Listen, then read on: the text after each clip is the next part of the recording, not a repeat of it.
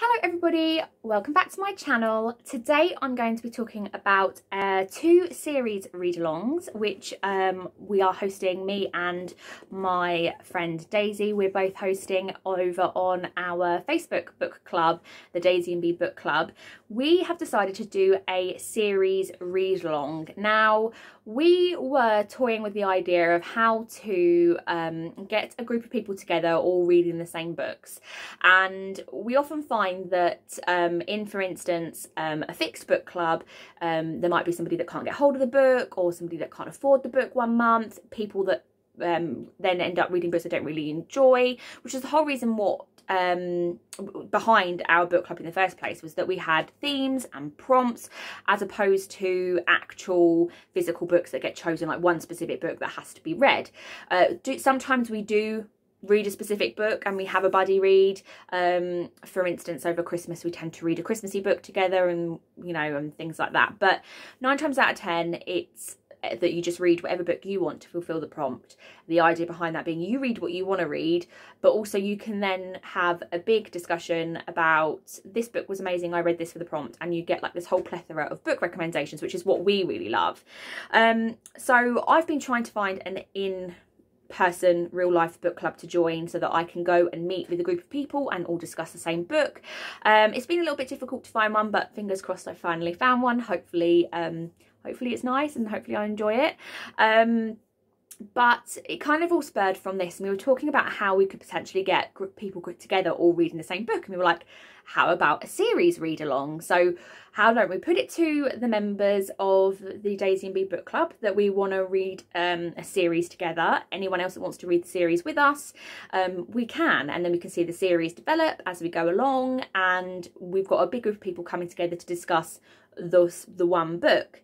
So we put a poll up on our Facebook page and um, we put some suggestions in and we had a couple of suggestions ourselves we, we put together.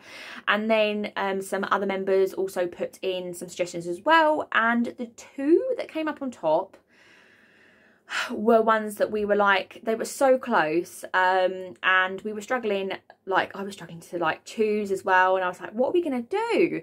So we've chosen both. So we're going to be doing a series read along, which we're splitting in, was basically splitting the month in half.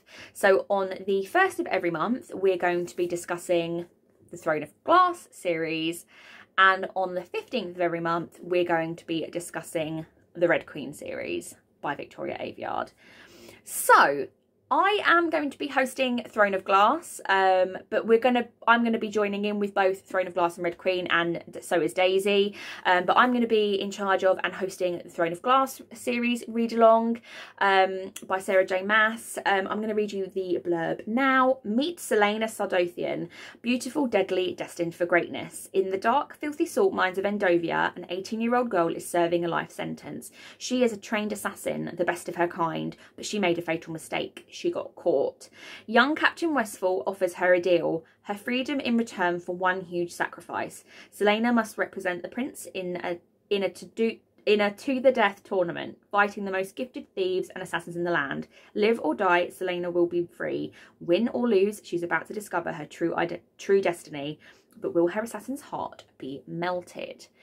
Um, the reason why I'm kind of taking this one on is because I am a massive Sarah J. Maas fan and I'm a fake fan because I haven't read the Throne of Glass series and I've been talking for ages about wanting to read this series and get the series read and I thought as this came out I think on top of the poll uh, but it was really close. I think this one got 10 votes and Red Queen got 9 um, we were like right okay we're going we're going to um, we're going to do this and I'm going to do this one.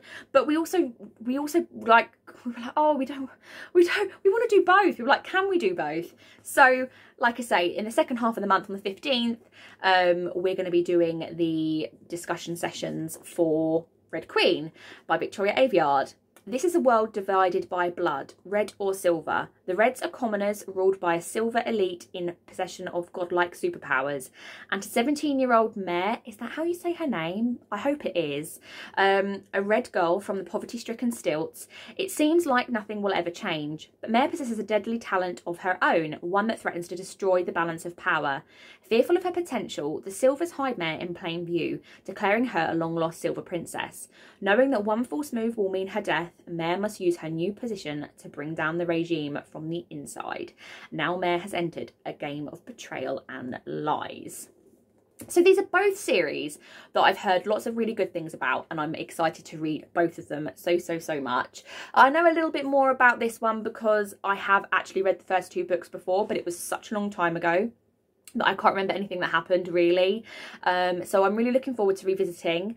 I've heard the first two are maybe the ones that you need to kind of get through and then after the third it kind of gets really good. So um, I'm looking forward to making some progress with this and getting to the kind of last few books, the big books, um, because um, for context, obviously I've read ACOTAR, A Court of Thorns and Roses series, and I've also read the Crescent City series. Um, and this is Sarah J Maas's first published works. So I think it has a tendency to maybe not be so good to go back to after you've already experienced her newer work. So yeah, I'm hoping that we can kind of get through the first couple um, but I'm sure I'm going to enjoy it because I enjoyed it first time round. It just didn't grip me as much um, as ACOTAR and Crescent City did. Um, and I'd be honest, I don't know an awful lot about the Red Queen series other than it's had really good reviews and I've heard lots of people talk about it and have rave reviews about it. But I'm trying not to get spoiled. Um, I don't like going into a series knowing too much about it.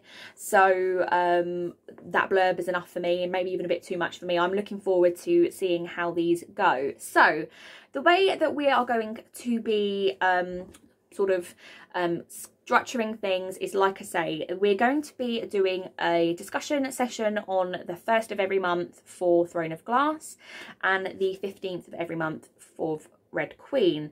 Now, obviously, we're flexible, we're all human, so if for whatever reason at one point, especially when we get to these bigger books at the end, if we take a little bit longer than um, the time that we've got set to read the books and we run a little bit late, then we can move the discussion dates um, but also if we all read it much, much sooner than the date that we're due to discuss, then we can all get together sooner and discuss the books as well.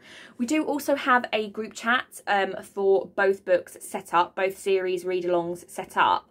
So if you want to join in, you can be part of the group. And then once we've had the discussion session, um, we can put some of the discussion points that we've talked about in the chat. So for anyone that maybe can't make the discussion session, they they can then join in and obviously then the idea being that we don't spoil anybody if there's anybody that's a little bit behind um, and we don't discuss them until the discussions have happened. But I am really looking forward to reading both of these um, both of these series and I feel like we've got some accountability now to get them read because we're doing the series read along and I'm really looking forward to reading them with a group of people, um, discussing them and getting to chat about them with people that have also read them. I'm really looking forward to that. Like I said, I've I've kind of been craving that um, I've been wanting to to sit and chat about books to people, but it can be a little bit difficult when everyone's reading something different. So I'm looking forward to us joining up and reading the same things and discussing them together.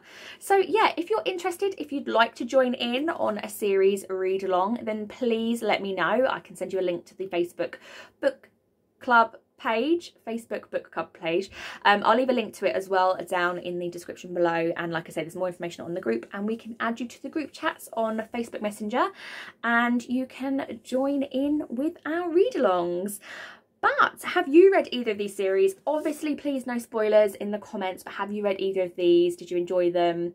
Or have you got partway through? Because if you've got partway through and you want to then join in at one point or want to be reminded of what happens, you don't don't feel like you can't join because you've already read part of the series. You can join in and um, reread or just refresh on what happens in each book.